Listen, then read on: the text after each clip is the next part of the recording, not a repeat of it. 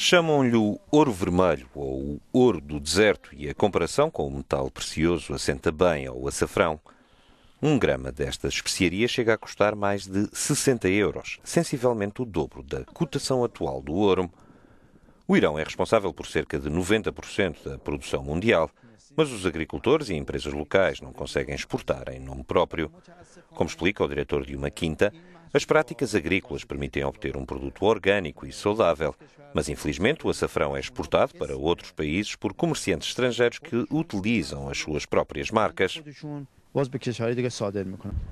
A exportação por grosso do açafrão não é a mais favorável para os agricultores iranianos, já que o preço é substancialmente mais baixo do que se for vendido a retalho.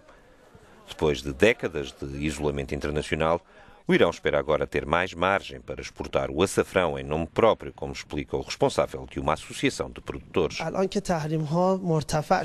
Agora que as sanções vão ser levantadas, devemos ser capazes de planear com exatidão as exportações de açafrão já embalado com a nossa própria marca para os países de destino.